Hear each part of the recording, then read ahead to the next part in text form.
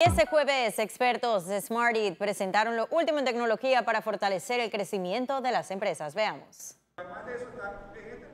Más de 200 empresarios se dieron cita en la capacitación Smart IT para conocer las innovaciones digitales que impulsarán el sector con el surgimiento de la inteligencia artificial. Tratamos de que las personas entiendan que la tecnología es para todo el mundo.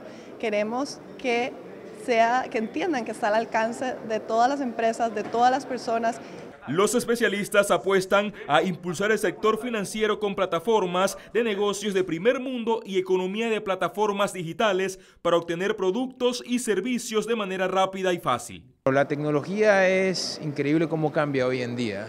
Eh, todos los cambios que están ocurriendo con las diferentes tecnologías como el Internet, lo que es la telefonía móvil, el Internet de las Cosas, inteligencia artificial, todo eso combinado está teniendo un impacto en cualquier industria que tú escojas. En banca es muy, es muy visible.